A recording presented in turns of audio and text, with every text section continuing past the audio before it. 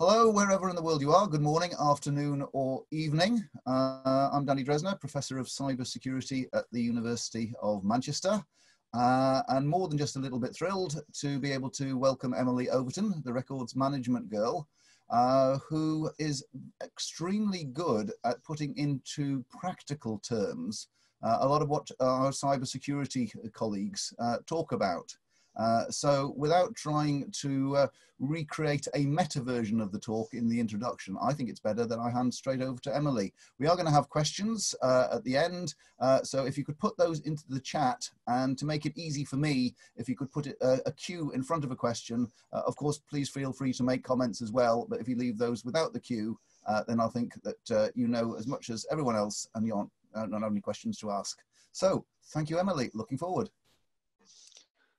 Thanks very much, Danny. Just so in case people don't know where the chat function is, you need to click the ellipses that says more and then show chat. Um, I will be mostly looking at my slides, but I can see the chat um, whilst I'm presenting. So, yes, good morning, good afternoon, good evening. As I say, we've got plenty of people from around the world actually today joining us, which is fantastic. Thank you very much. I feel very honoured that people want to tune in to listen to me. Um, as Danny said, is that today I'm going to be talking about reducing the attack surface with records management. Now, this talk is going to be in two parts almost, but they do um, meld together quite nicely. The first part is just talking about what records management is and isn't, and then also how you apply what I tell you to cybersecurity. Um, on slides, move on. There we go. Um, so my name is Emily Overton. I am known on Twitter as RM Girl UK. I am a self-employed under my own company, so I'm actually Records Management Girl Limited. Um, I was on the IRMS executive committee, which for anyone who's outside of the UK um, is basically the Information and Records Management Society. It's a membership organisation for information and records management people. And it's not just records management, it's anything in the information world. And they have lots of benefits for just, just under £100 a year, which is great.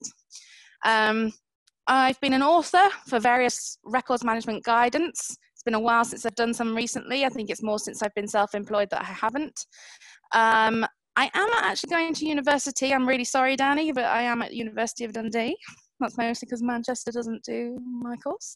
Um, and I've recently just finished my postgraduate diploma, and I'm doing my dissertation research into gender fluidity and whether or not the binary uh, gender will actually continue within the UK public sector specifically. Um, I'm an ex-civil servant, ex-NHS, ex-county and city councils. Please don't hold it against me. I think the only thing I've got there is that I haven't done HEFE and um, police, but we'll not talk about the police part. Um, I live and breathe records management. I'm nearly 15 years in. Um, I I actually um, got asked last last year, I think it was, was what was my hobby, and I was like, um, records management. um, I didn't actually have a hobby, so I had to go and find some because apparently having records management as your hobby and as your job is pretty sad. And so I've kind of come to the acceptance that I'm actually just a fundamentally a very sad person because I do it for fun as well as for work. Um, can anybody guess where I'm from? So this is where we can work out if people can use the chat function. Just give you a bit of a hint on the screen there. Can anyone find the chat function? Giving them a few seconds. See if anyone responds.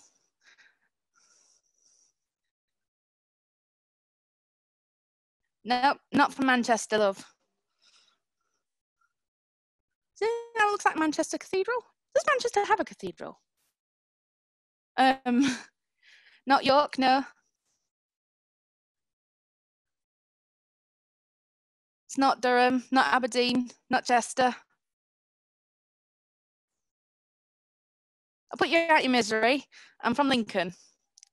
Um, so that's Lincoln Cathedral. I think it's a fantastic place. I am, I actually am from the place that is the um, home of the Red Arrows. I have a house at RAF Scampton until it moves to RAF Waddington. Um, so yes, that is my home city. People get very confused uh, where I'm actually from because my accent changes depending on who I'm talking to. So I'm feeling very northern right now because I've just been having a chat with Danny, um, whereas I'm actually based in London right now.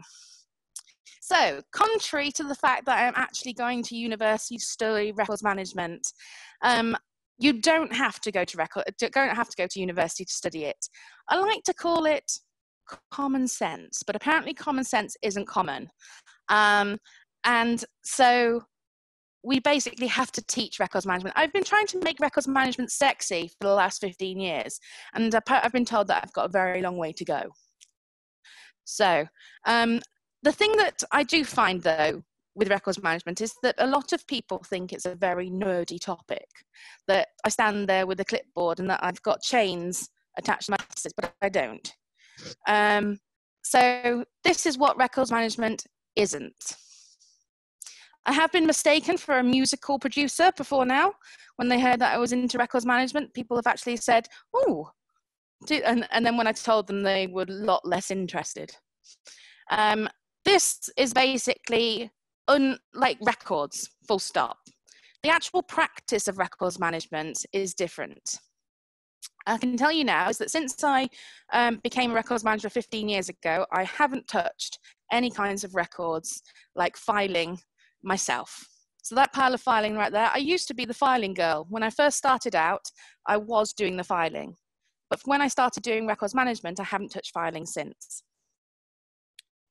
What records management is, though, is this. It's about digital, it's about electronic, it's about disposition, it's about systems, accountability, you know, you name it. Personal data does fall into this, but it's not just personal data. We're looking at um, information that is um, of interest historically, um, where it has uh, val- historical value for the future. Um, but also, we're looking at legal cases that aren't solely about the person. There's lots of things that it's covered. Basically, if I take your computer and your notebooks and your filing cabinets away from you, you can't do your job. It is fundamentally something that goes through the entire organization. This is what records management is, though. What we're looking at is everybody does records management. It's the present, it's the past. It's not a monster. It keeps the monsters away, if anything. Records management is the hand rather than the monster itself. Um, it's about saving money, not just saving money, it's about tactics and the way that you do stuff, the way you process information. And believe it or not, filing systems can actually be beautiful. Trust me, they can. Um, and as it says in the top left there, it's about finding the truth and making sure it's not about lies. It's about emails. It's about fi- personal files that physical files that are on your desk. It's about your drive, everything, your your servers, all the information, the backups, and everything. That is records management. It's fundamentally the governance of how you deal with information coming into the business, going around the business, leaving the business, and so on. Um, and it's making sure that you have integrity. So you make sure you cover your bases of the what, the why, the how, the when. Um, what is actually missing on there is the who. Um, you've also got on there, on that pictures there, you've got about legal files, um, and it's about having files when you desperately need them. Also, looking at things like theory, I took this picture, it's a copyright for James Lappin, um, he's a fantastic artist in records management, which is really interesting. He does all of his um, presentations by drawing them. Um, but the concept that you should be routinely deleting stuff um, and out of your email accounts, but also putting business correspondence into record systems and then having record retention rules on your record systems. Nothing should ever be kept forever. I absolutely hate the word permanent because permanent for me means a thousand years plus. Um, and that means even after an organization potentially has closed, is that you're suggesting that they should be kept forevermore. So having an appropriate retention schedule that doesn't have the P word on it is great. My abbreviation list, one of the things that I um, absolutely love is taking what other people know and turning it around into records management. So GDPR, good documented practice with records. Um, and Data Protection Act, disposition please annually. Um, all too often we get stuck with storage of records because nobody's got time to review things and get rid of stuff. We're all too keen about getting business in the door, but when it comes to actually getting stuff out the door, it doesn't happen. Now, for those that are in the public sector, the more you have, the more you have to give under FOI um, through transparency. So if you haven't got it, you can't give it. And if you have a retention schedule that got rid of it appropriately, great now, I'm not suggesting any kind of malpractice in this because I truly believe in transparency. Um, but records management is there to help keep things moving, which is why we have a Section 46 Code of Practice under FOI. Fundamentally, though, records management is knowing what you have, where you have it, and how long you need to keep it. Um, and when you look at it, being compliant with things like GDPR, you need to know what you've got so that you can protect it appropriately. And that applies to information security as well. Where you have it, again, is it in the cloud? Is it on your servers? Is it physical? And how long you need to keep it. You've got your storage limitation and making sure that your attack surface isn't too big. And like I said just a little bit ago, it is records management is the golden thread throughout an organization. And it's about having a single narrative and making sure that you have one version of the truth, uh, that everybody knows what they have to keep and why, and so on and so, so forth. I drew this image. Um, my mum was very proud. Um, then someone designed it for me. I've recently just added in the archives claw right there. But this is just basically an infographic um, that shows you the life cycle of records management. Now, if you want to talk into things like the records management continuum, then I'm more than happy to do after this chat.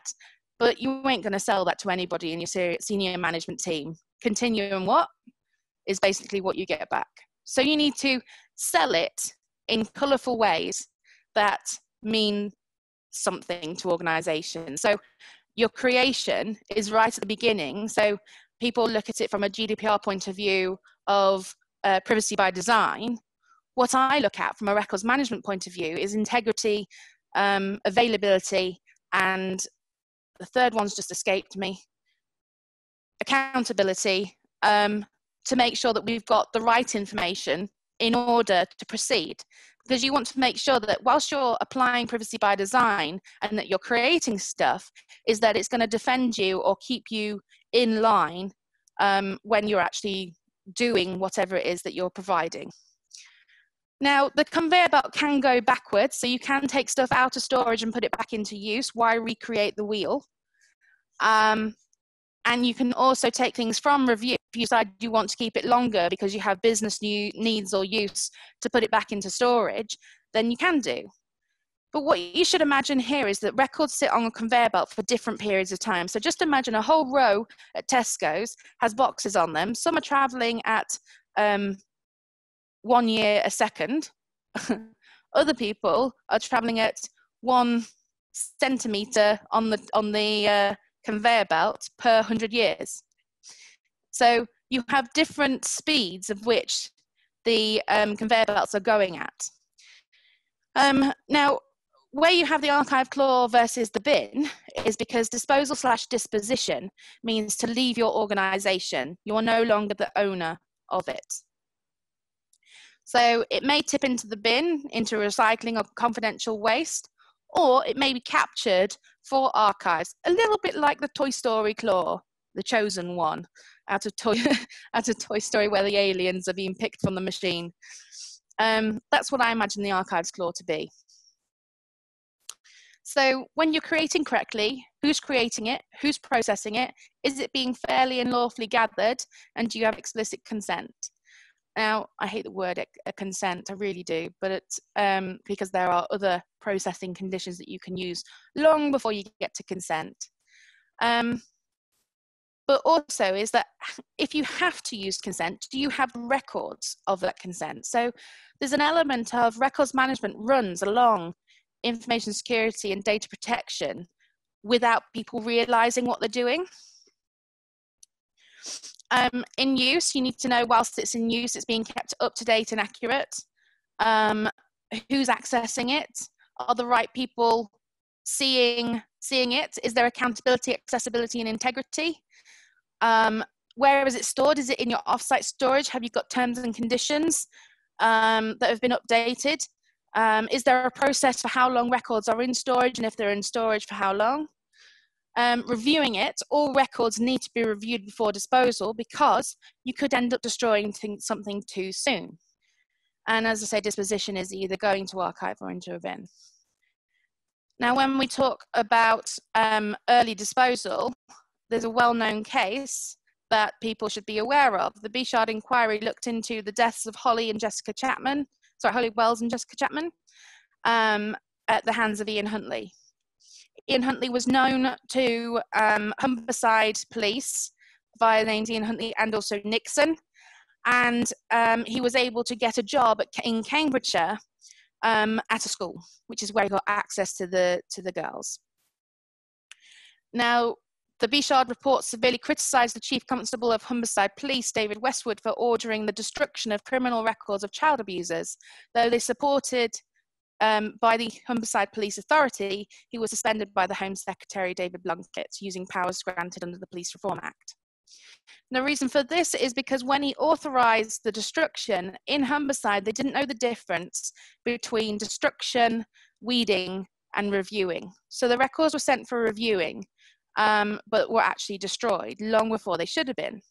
So when it comes down to um, Cambridge are looking for any back history of Ian Huntley, not only did they not sh- share information between police forces, so there is an information sharing issue there anyway, um, but the records didn't exist. So this hit the papers thinking it was information sharing that was the problem, but actually the root cause of this was records management. Because even if information sharing had been there, then the records wouldn't have been there anyways. And it's almost like if you destroy something too early, it's almost like you never had anything at all. And it's here where the issue went wrong. Um, the Bichard Inquiry report referenced confusion in police records management so serious that it was not even a common understanding of what was meant by weeding, reviewing, and deletion. Weeding is getting rid of information that is rot, redundant, obsolete, and transient. And we'll talk a bit more about that later. Um, it can't actually be ascertained how many records were lost without a proper review. Um, so there's an interesting case there is that unfortunately Ian Huntley was able to get away. Now I'm not saying that had records management been um, in place at Humberside, then this wouldn't have happened. But I am saying it would go a long way to um, it not happening, and that's the same in in most people's businesses. And the thing is, and this is my most scariest slide that I've done to date, is that it's happening all over the place. Records management is not being taken in, um, as, as, I don't know, serious as, as they should do. Because if you imagine, if you look into each and every single one of these that is on here, and by all means, please do afterwards, um, you have the San Francisco pipeline uh, explosion that happened. Um, and that was very much like the Erin Brockovich uh, movie. I highly recommend watching that for what she does with records. And you also look at the Justice for the 96, is that the kinds of records that were amended. In the back there, you have um, Harold Shipman. He was caught through metadata. He was amending metadata after the person had actually passed away. Um, we, yeah, so news of the world, for example, hacking, phone hackings, there's records missing, like the For Neville email that went missing. If that was around, then it would have been a lot more simpler. But it wasn't. People were deleting their activity. Same goes for Jimmy Savile. I had to cover over his smile because it's really, really creepy. I'm really struggling with the eyes as well. I tell you what, guys, if you ever Google pictures of Jimmy Savile, brace yourself um, because it's not pretty. Um, but yeah, covering up his picture just there purely down to um, where were the records in relation to Jimmy Savile visiting various places. They were intimidated by him being such a big celebrity and a star, but records management should still have remained. And lastly, um, you had the singer Rolf. Rolf? I can only just think of his songs, the Australian. Um, um, he basically said that he wasn't somewhere when he was, and the record was a, videotape. Harris, thank you, uh, Rolf Harris. Um, he said that he wasn't doing something that he should have, uh, that he was, yeah, let's get my words in order and put my teeth back in, why not? He said he wasn't somewhere, and he was because there was a video, a record of him being uh, in the background, and that's what actually caught him out on his lying. Um, other ongoing uh, inquiries that are happening right now, you have the infected blood inquiry and you have the in independent inquiry into child sex abuse. Um, and we shall basically wait for the uh, results of that. So when it comes to data protection, and I appreciate guys that you're here for cybersecurity, don't worry, we're coming on to that. The thing that I always just kind of keep trying to stress is that the stuff that people are using in data protection is also records management. Having a record of all of your assets and your data, where it flows data, information that's going through the organization, that is records management. A record, simply, of your processing activities, that is her records management policies, procedures, and processes, having a policy in place, having a process in place. Do you see what I'm go- where I'm going here? Is that everything here requires a record or a list or a plan and getting rid of stuff in order to do data protection. And this is the same for cybersecurity and reducing the attack surface with records management. So, how? So I'm just going to go over a bit of basics because I'm not sure how, what people, what my audience is here right now. But in the simplest ter terms, the attack surface is the sum total of resources exposed to exploit within your enterprise. Defending the attack surface was a lot less complicated when defined corporate perimeter existed, neatly separating a company's assets from the outside world. But next gen technologies, e.g., um, cloud computing and software defined networking have dissolved the perimeter, causing the attack surface to grow exponentially. So the Internet of Things is a good example of how window of opportunity for cyber criminals has been blown wide open. Any device connected to the Internet can now be a target of a cyber attack. In this era of complexity, infrastructures, and sophisticated malware, we must stay laser focused on reducing the attack surface to limit the opportunities available to cyber criminals. And there's ways of doing it. And it's through records management. So eliminate the complexity. Try and get all of your records into one particular area. If you've got storage of records in various different places and you don't know where it is, then you need to get on top of that. One of the most impactful ways to reduce the attack surface is just getting rid of it. Um, and the thing is, is that networks can creep over time.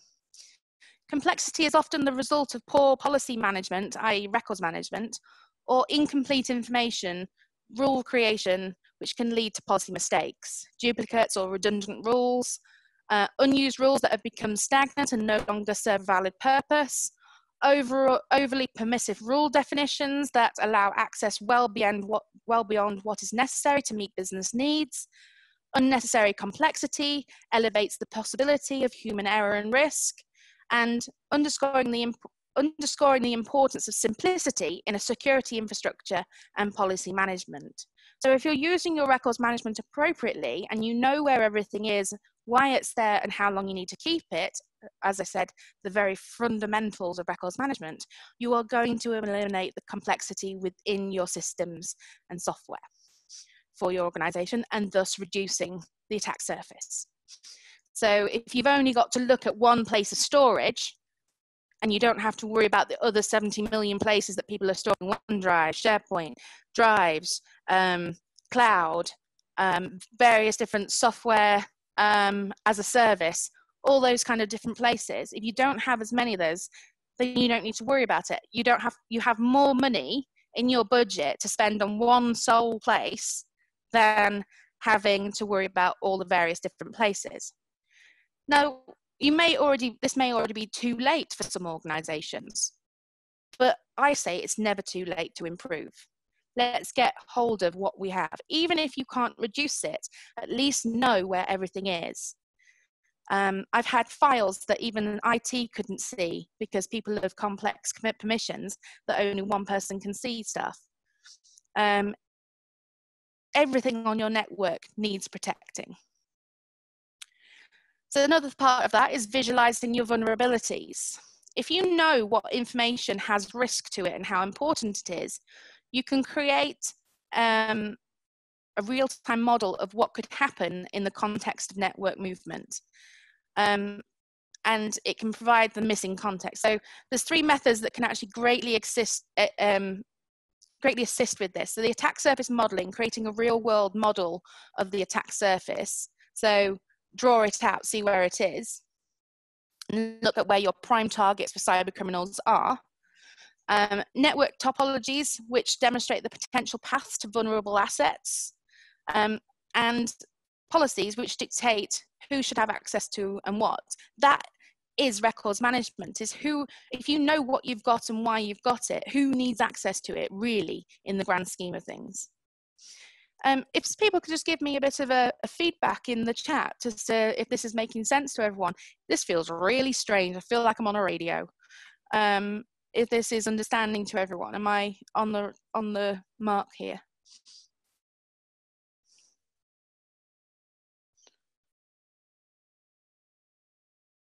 Fab. Yeah, it's making sense here. It's going right. This is great. Fabulous. Thank you so much. Um, a third one is controlling your endpoints. So the first step to reducing the impact of endpoints on the attack surface is gaining visibility into what is happening on them. Independent process monitors keeping all end endpoints under constant surveillance and provide alerts when endpoint behaviors deviate from the norm.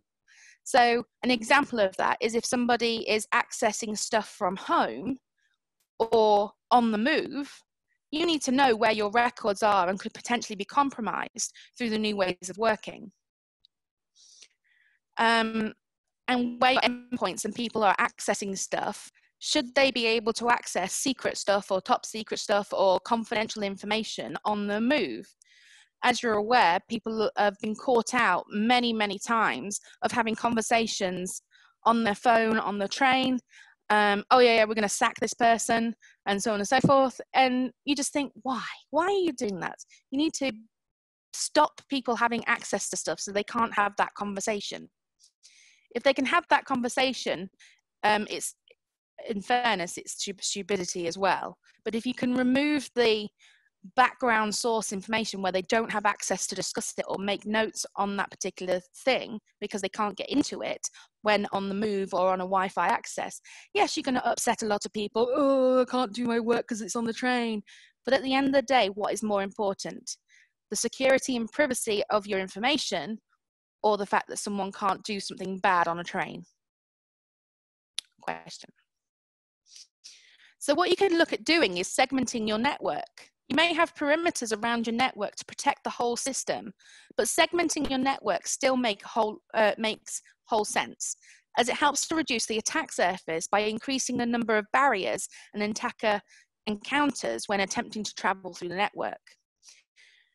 Um, so what we're looking at doing here is um, if you want to segment your network so that there's extra security around really important records, but of course you need to know what records they are in order to be able to segment it. And doing things like analytics. Um, so prioritizing analytics, security configuration assessments, traffic flow analysis, and quantitative, quantitative risk source. Uh, I can't even talk, say these words today, man. I should really just like, just take my teeth out again and just try. Um, security configuration assessments, really long words, traffic flow analysis and quantitative risk scores are three common methods of analysis that can be extremely effective in reducing the attack surface, and they're methods you're likely to already use within your organization. And lastly, building new perimeters. Whilst we cannot change the incentives and the resourcing that give rise to cyber attacks, we can limit the opportunities available to cyber criminals following the five steps that I've talked about today. Um, and keep the bad, side, bad, bad guys on the outside. So for the most part, that's your kind of the wordy stuff around your networks that I wanted to talk about. But there are other things that you can do that are records management that apply to reducing the attack surface. Because at the end of the day, reducing is meaning deleting. So you need senior management buy-in to records management. You need commitment from the top when things go wrong, such as cyber attacks. The senior management need to know that they were told about it. If they don't know what's going on with their organization, then there's something seriously wrong. You also need risk escalation. So as I spoke about just, just now on that last slide, is that records management needs to not only be brought into the entire structure of everything you do, um, but include risks of what could happen to your information. All too often, there is an information risk register that is separate to um, the overall register. No, it should be on your main risk register. Your information is the most important thing. You cannot do your job without that information. If you have a records manager, not all of them look like me. I'm very bright and sparkly. I wear 50s dresses and look just a bit odd. Um, most of the records managers don't look like me. Um, so get to know who your records manager is within your organization, someone with an information governance role that can help you trim down your records by the way. I know a really good consultant uh, if you need one. Friendship with IT. Not every information security person is actually in IT, but if you're not already in IT, make friends. The reporting tools they have to help with reducing attack surface is really going to help. They can pull reports for you that say when things were last accessed, and then you can compare things against the retention periods. You can look at um, how often things are accessed and where they're accessed from. So many reports can be drawn down from your systems, um, but also ask any people like your software as a service if they're able to give you access to reporting if you haven't already. There's plenty of people around your organization that want to make a difference. They've seen things go wrong, and usually they're the ones that are tidying it up afterwards. So adopt those people, take those people under your, under your wing and teach them about information security and records management and how we can reduce the amounts of files that people uh, are going to have. Not forgetting having an information and records management policy. Utilize that policy with reducing what records are on your system. If it shouldn't be on your system, get rid of them. Stop, stop spending your budget and your lots of money securing someone else's wedding photos or music files and I know these are on people's systems. It's the same for in off-site storage. I find Christmas decorations all the time in a box. I found empty boxes in storage. So you'll have files on your system that are um, em empty. It's just a file that's there, super top secret file, nothing in it. Um, trim all that down, get rid of it, because that way you don't have to protect it having an up-to-date retention schedule. When you start deleting content or asking people to delete, make sure it's in line with a retention schedule that's been signed off by senior management. Because if senior management have signed it off, the book stops with them. If it comes to a court situation and you don't have the records, they're going to be asking you why. Well, you signed this off in such and such committee. For the physical security folks, seek out where all your records are, data flow, how it ends up in the basements, and know who you people are in property. People in property will know when uh, leases on buildings are ending, um, and pretty much records work like a cat. If, it's, if it fits, it sits. So um, finding information where it is, it could be in the attic, it could be in the basement. Check those places before the building is handed over. Even if it's not yourself, me telling you who will tell someone else may save a data breach. Um, and that's pretty much the tools that I have. The other thing I have to say is that reducing the attack surface of big data is a huge problem. So big data are sets of data set, big data are data sets whose volume is too large. The data set streams in, at an unmatched speed and must be dealt with in a timely manner. Big data technology is next big thing to records management. Big data projects either struggle with meeting records management requirements or ignore them altogether. Um, my surprise comes from the, the fact that not only is records management a compliance practice, but it's also one that can literally pay for itself. Big data was coined by NASA as a term to describe data sets too large to analyze.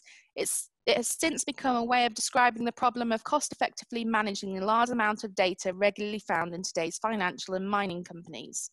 And here the data size is growing enormously, not only due to a natural increase in business growth, but it's also through the adoption of social media and through the supporting the big data analytics. So where does records management come in? Too often records managers are seen as the company, company librarians hidden away or as a compliance roadblock telling you what you can't do. What is not appreciated is that records managers have been fighting the storage battle for a lot longer than IT. Be it physical or digital storage, the desire has always been the same. Store what is needed, store what is only needed, and keep it available and keep it cheaper. Then came the storage revolution. Seemingly, the storage in your common PC was the same as the RAID server you were running as a document cache. And we moved from the talking about gigabytes to petabytes, probably even zettabytes. I don't even know what's bigger than zettabytes now, if anybody in the chat knows. Um, and I've seen the question, Ray, and I'll come, come to it shortly.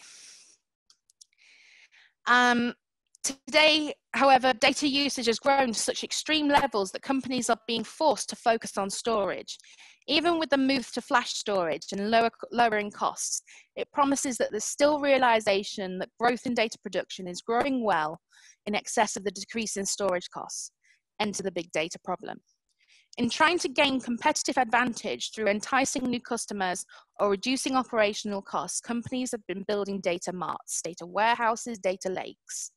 To achieve this, big data systems are built, and the data is sourced from client systems, and here, herein lays the heart of the problem. Copies of data are expensive, become unmanaged, and in some cases become copies of um, and are new records that become unmanaged. The solution is by no means easy, especially if you're already well down the big data path.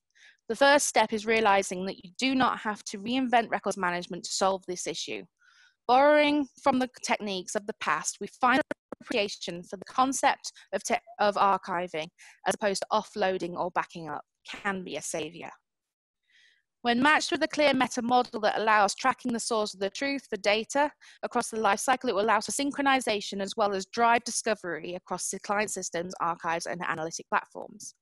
Sure, there will be um, sure there'll be new patterns applied, as is always the case with new and more capable technology, but records managers have been doing this for a while and may just surprisingly surprise you with how quickly they can adapt.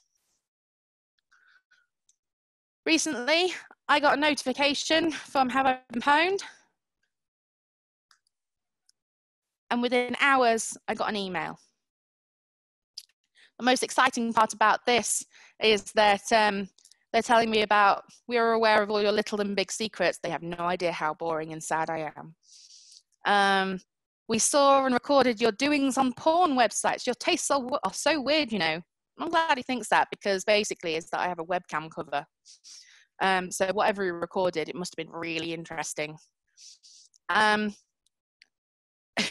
you did terrible things with your body. um, I found that hilarious because basically he's got access to my LinkedIn if it's LinkedIn that's done the breach, and likely it's not because I don't use my professional email on any other social media sites. Um, the thing that I say about this is that when people are receiving this in this is that it's a data breach of information and records. Should that database that was breached been within your perimeters of a single set, would it have actually ended up on on the um, the Elasticsearch server? Probably not. If you were looking after um, the the stuff in the first place, would this have ever happened? Had your records management, securing the records, managing the records, everything here, the information in information security is records. I talked about rot earlier, getting rid of the rot in your systems. redundant, obsolete, and transient information. Free up your budget by getting rid of stuff that is duplicate, excessive, no longer required, short term, etc. Rot is not on your retention schedule. It's in effect getting rid of the leaves out of a drain so that the water flows faster, the water being the information, or getting the hair out of the bottom of your sink for those that live with women. Um, it's like there's I've pictured in the apple. First, th- first thing when you get information, it could be this bright, shiny. Yeah, we need this data. This is really important. But actually, as time goes on, it rots away, and it eventually becomes the last apple. So at that point, long before it gets to that point, you should be looking at getting rid of it. If anybody would like to learn more about sort of record keeping in an information culture, um, this is a book recommendation for you. Geoffrey Yeo is, is a fantastic author. Um, and yeah, basically is that um, I think it's a really useful book for anybody. Uh, you don't have to be a records manager to read it. The other thing is I'm really the worst person to go to the cinema with. I can find a records management or information records management problem in pretty much any film you take me to see. Um, and I won't be quiet about it. So just looking at the films, I've tried to get a film for everybody that's interested. Um, most recently, the Joker one, I nearly punched my mate when it came down to uh, talking about the data breach, and he didn't appreciate it because it's a fantastic film, and I was applying records management to it. Sorry, not sorry. So yeah, I'm not going to read all those out, but as you can see, I'm hoping that you'll see that records management is a lot more important within your organization than people have really paid attention to so far. And we're coming to the end, and I just wanted to talk about not everybody looks like me. Um, other records managers aren't as loud and abrasive as me. I'm a very much a Marmite person. I am very aware of that. But try and see if you've got somebody who's interested in records management if you haven't got anyone at all and pay attention to records management. And therefore, we come to the end with any questions. Danny, if you wanted to field questions for me, please.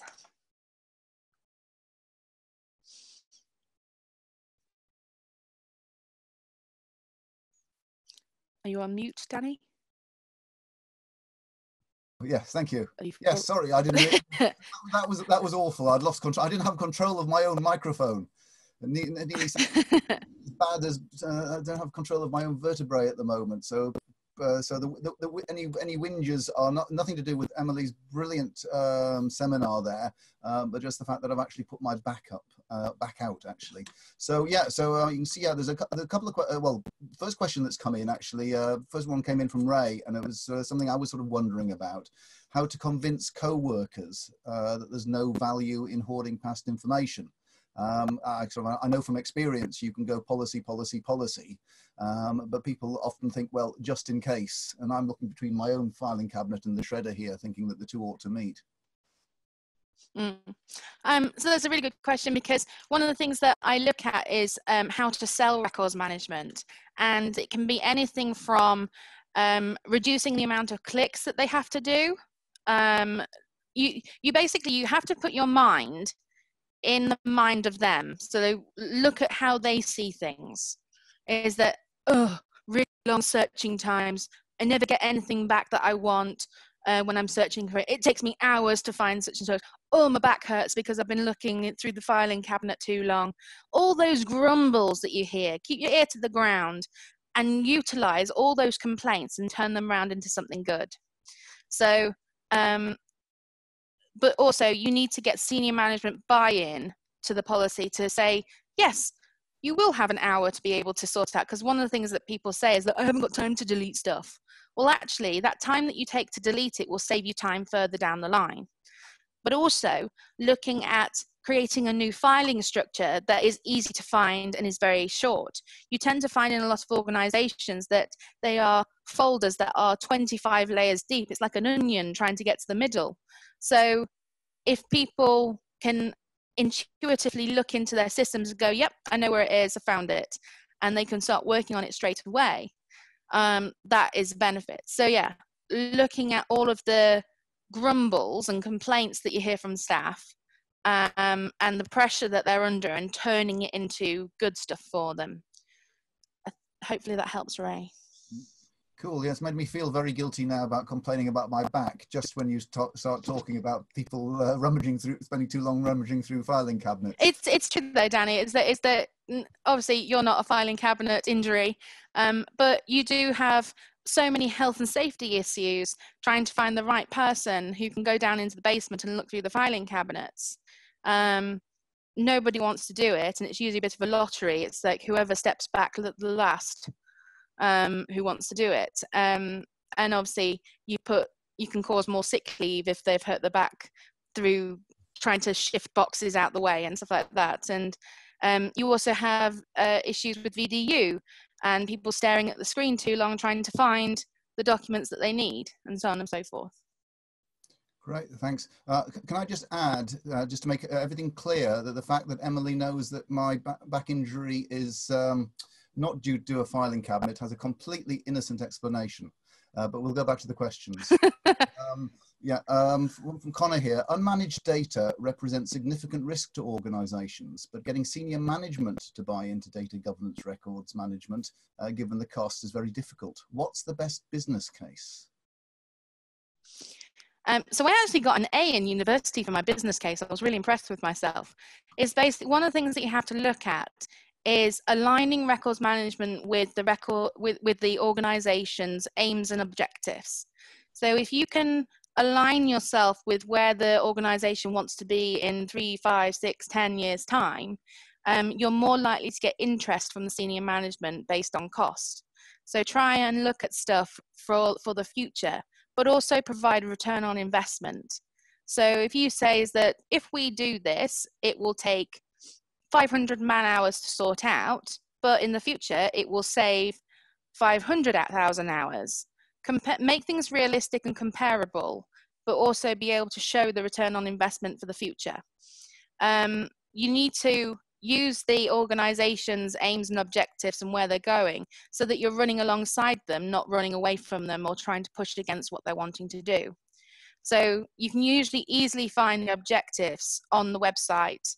It's that great structure plan or whatever that people are trying to do. They they, they want to be the the best best best customer service ever. Well to provide best customer service you need to have appropriate records. And to do this you need to do this this and this. And it does mean that you have to pull the roots up of the organization and they have to be prepared for it. Another thing that you can do is use and i don't like scaremongering. Scaremongering is the worst thing. Um, but you do have the option of comparing yourself against other organizations that have gone through the through hell. So as i said earlier and i showed you that scary slide um, look at all sorts of cases that are in the news and saying well we're just like them and we've got exactly the same problem. So let's prepare ourselves to not have, have that happen to us. And it's about telling them is that it doesn't matter who you are. Um, you will always be taken down. So thinking, looking at Talk Talk, it was taken down twice by the same teenager and because he was bored. So it's not even malicious attack or sophisticated there. It's literally just someone that's bored. Um, and I'm not surprised if this hasn't increased during the pandemic because there's a lot of bored teen- teenagers around. Uh, that's a, that's a very good point. It's something that people have been uh, discussing, where people were, you know, in terms of uh, where some of the uh, the attacks might come from and uh, what people are actually doing. Um, I know I, I, for for one parent, uh, made the decision to take the time limits off the children's computers, not not the actual co um, content filters, but at least the the, the the time the time limits. Screen time. Yeah, mind, mind you. you um, the other, children to children. I just want to say one extra thing on that is that uh, although this isn't a sales pitch, it literally is just a tip. Is that I do teach people in a records management course how to do business cases for records management and how to make it important. Um, so it's always worthwhile um, having a training course on records management just to get that kind of stuff involved. Um, it's very difficult for me to, to explain it in person without actually showing you the stuff. Um, so yeah, I do do training courses on how to get records management buy-in from senior management. Hmm, that's useful. Um, can, can, you touch on the difference between information sharing and data sharing, please? Uh, uh, um, Linda's asked that. Um, it's one of the same thing. But, uh, Linda, could you please give me a bit more information about what you mean? Okay, well, um, if, if Linda's got anything else to add to that, uh, perhaps maybe you just go on to the next question. Uh, should we expect yeah. records managers to work closely with complex data architectures? You should expect your records managers to work closely with everybody who has anything to do with information and data. So yes, basically, we should expect the records manager, in fact, the records manager becomes one of the riskiest people in your organization that they too get put on the risk register because they know so much about your systems and information. So um, in terms of your architecture, your infrastructure, your business classification, your everything. Um, um, so yes, is that um, you should actually be getting a, a, records manager involved in pretty much everything. And the thing is, is that when you say, well, how are they going to do everything? That's where you need a records management team because this isn't an easy thing for one person to do by themselves. Fantastic. Um, just yeah, uh, just. Uh, no, it's not a human doing. It's literally it's my it's my setup because I'm. Uh, for those that don't realize, I'm actually partially deaf, and so I purposefully put subtitles on so that um, people who are just like me can actually listen um, personal bugbear of mine, um, just while anybody's thinking of any other questions, uh, should we try to stop everyone trying to manage the world by email? And do we need to? I mean, is, is records management the solution we've been looking to? Uh, th th this is it was this was kind of came from various attacks on UK Parliament and people getting into MPs' emails um, and them sharing passwords. And for me, it wasn't the fact that they were sharing passwords; it was so much critical business of the country being done by email that worried me. Um, a lot of the attacks on email around those kind of people is because they were actually attacking home inboxes. Um, and the people like that are trying to, to steer themselves around the FOI by using personal stuff, not knowing that actually their personal inbox still applies, regardless if they're acting in the faith of a public sector servant or civil servant then they should be applying. So some of those attacks that happened on the personal inboxes shouldn't have been there anyways, because that's the thing is, is that presenting the, the surface attack and reducing the surface attack is ensuring that people aren't using personal devices that you can't control. Um, yeah. So uh, yeah. I, um, I imagine over the last two or three months, uh, that attack surface has got uh, has, has probably mushroomed, and I suppose now the uh, the trick is going to be how, how how do we get it all back under control? Uh, if we had any control to start with, but maybe this will be the uh, the realization that perhaps where everybody thought it was, uh, it never has been. As a self-employed person, I've been terrified that I'm either going to be out of a job or too busy, and I can't work out which one it's going to be. Um, so uh, something comfortable. I would like that. That would be great. That would be nice. Um, anybody? Um, just a quick look at the. Uh, nobody else is coming up with any questions at the moment. Uh, so uh, I don't know whether you have any closing points you want you'd like to make, Emily. I think I've made them. I've really gone through everything that I need to say. Is that yeah? Is, is that find me on Twitter at rmgirluk.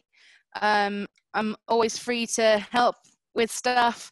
Um, yeah, is that if you found this useful, you could always buy me a coffee, as it says on the screen. Um, otherwise, yeah, thanks very much, Ray. I appreciate it. This has been recorded actually, and so hopefully we'll be able to share it for people that haven't watched. That's great. Well, uh, just remains to me to firstly thank Emily for uh, you know, really covering something that no matter how much you might try and deny that it touches you, uh, you know, the very fact that we're standing in front of you know, the kind of devices, uh, not to mention we've probably got, oh, I don't know how much legacy paper uh, for stuff that we just thought might be useful mm. one day, bit like my drawer of electrical cables, um, that uh, it really does apply uh, at so many different levels. Uh, and maybe if we can get some good personal habits in place, uh, that might grow into our organizations and we can all be You can even do it at home, Danny. Is that it doesn't have to apply to work. Reduce your own attack surface at home. Yep, Check out where all of your email inboxes are. I'll, I'll tell you an embarrassing story about that one offline, and I'll leave everyone else to imagine uh, imagine what it might be. But, uh, so it now just remains for me to uh, thank you very much for taking the time to uh, to, uh, to well to present this today, uh, and also for answering the questions uh, and for allowing us to record it. So it'll be a it'll be a resource. It'll be a new set of records which we have to manage and make sure. Yep, indeed. And up to date. Fantastic. Thank you very much. And thanks for all the comments, everyone. Thank you. Thank you. Bye.